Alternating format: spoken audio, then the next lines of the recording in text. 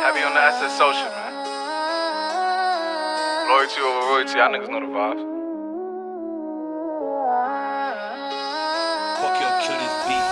Fuck your cutie beat, bitch. Whoop